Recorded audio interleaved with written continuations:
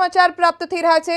સુરતનો પાંડેસરા વિસ્તાર કે જ્યાં મારુતિનગરમાં એક યુવકની હત્યા કરી દેવામાં આવી હતી. ફોઈના દીકરાના બાકી નીકળતા અઠ્યાવીસો રૂપિયા મુદ્દે હત્યા થઈ હતી.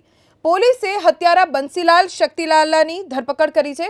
બે યુવકો વચ્ચે થયેલી મારામારીમાં બચાવવા પડેલા યુવકે જીવ ગુમાવ્યો.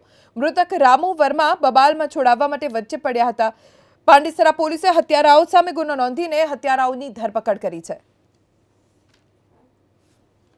ગઈ તારીખ ત્રણ એક બે હજાર ચોવીસના રોજ બંસીલાલ તથા રામુ નાઓ તેમના સગા શક- શક્તિલાલ વર્મા નાઓ પાસે કામ પેટે રૂપિયા અઠ્યાવીસોની માગણી કરતા હતા. જે માગણી અનુસંધાને તેઓ અડાલા અડાજણ ગયેલ અને તેમની પાસેથી રૂપિયા ન મળતા તેઓ તેમના પાસેના બે મોબાઈલ લઈ આવે જેના ભાગરૂપે મોબાઈલ પરત લેવા માટે આ શક્તિલાલ વર્મા તથા બરુઆ નામના એક ઇસામે પાંડેસરા આવેલા અને આ ફરિયાદી પાસેથી મોબાઈલ પરત લેવા માટે આગ્રહ રાખેલ. જેના ભાગરૂપે બંને વચ્ચે તુતુમેમે થયેલ બોલાચાલી થયેલ અને ઝઘડો થયેલ. જેમાં આરોપીઓ શક્તિલાલ અને બરુઆએ ઈંટનો ઉપયોગ કરી અને રામુ પર હુમલો કરતા રામુને માથાના ભાગે ઈજા થયેલ અને વાઇટલ પાર્ટ હોવાથી તાત્કાલિક તે મૃત્યુ પામેલ.